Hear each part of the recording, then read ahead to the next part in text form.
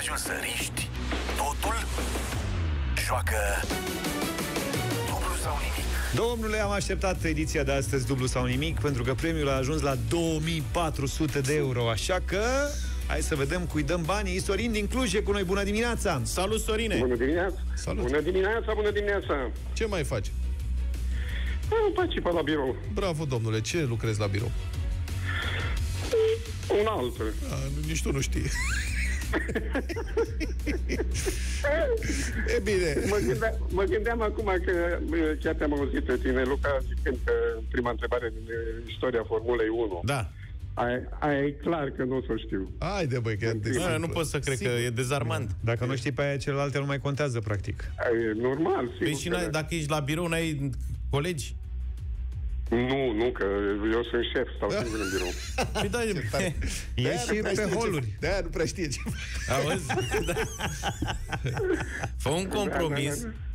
Du-te la oameni, Da. promite-le o primă și întreabă și tu care se pricepe la Formula 1, de până acum trebuia să o faci. Nu, pot că am numai mai multe femei aici. Și astea nu le preiau cu... Da. Da, n-ai Dacă de era unde să din știi. fotbal, dacă era din fotbal, era ok. Sau din altceva, de tenis, din ăsta. Bine, dar să nu în te Formula gândești 1, acum că e vreo întrebare, că e prima întrebare, nu e ceva foarte dificil, da? Adică nu sta acum poate- crispat cu emoții că nu te pricep la Formula 1. Poate, poate, cine știe. Da. E genul de răspuns pe care poți să-l și nimerești. E imposibil Da. să nu-l nimerești. La o adică. Da. Hai, Luca. Da. Da. Bine, păi dacă tot nu vrei să ne spui cu ce te ocupi, ai colege, doamne, și ești singur în birou, să începem, nu? Da, sigur că da, sigur. Mult succes! Succes, Sorin! Mulțumesc, mulțumesc. 300 de euro.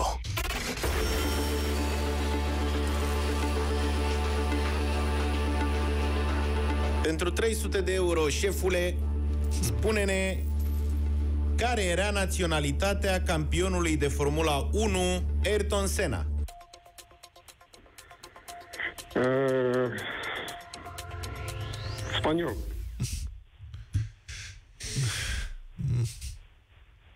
Ce să zic ca să nu te mint? Ce să mai acum... Era un fel de Mă spaniol. așteptam să spui francez, dacă sună Ayrton Senna. Ayrton Senna. Ayrton Senna, Sorin, a fost un triplu campion mondial de Formula 1, decedat în anii 90, în urma unui cumplit accident pe circuitul de la Monza, iar el era de origine braziliană. Nu. Și a fost unul Dumnezeu dintre să ierte. marile personaje ale Formulei 1. Adică dacă citeai puțin, dacă te pregăteai în astea 5 minute, erau toate șansele să dai peste el. Da. Categoric, Chiar nu te categoric. pricep la Formula 1. Îmi pare rău că te-am nimerit așa. Nu, uite, m-a nimerit așa. nu. Asta, Asta, altă da, dată. Așa a fost să fie. ne pare rău. Că asta Dar e să chiar o știi că nu chestie- E o chestie de notorietate. Adică Senna e probabil cel mai cunoscut în Unul după dintre... Schumacher, nu știu. Da. Cam ăștia sunt. Mhm. Bine, Hai să ne oprim Asta e. atunci. Ce Asta să... e, nu nimic. De, gata, n-a viitoare. fost să fie. bine, bine, bine, vă salut. Numai bine, cam, cam, Sorin. stai puțin, din ce întrebare, din ce domeniu voi să fie prima întrebare? Ca Fotbal să te a ajute? zis. Fot... A, n-am fost Fotbal, Mă fotbal. iertați. Fotbal ceva pe acolo. Data viitoare. Da, nu prea avem spor noi la dublu sau nimic, dar s-a nimerit să fie așa. Am zis să mai variem și uite că pentru tine a fost cu ghinion Sorin, ne pare rău. Dublu sau nimic. Cel mai deștept concurs radio revine luni în deșteptarea la Europa FM.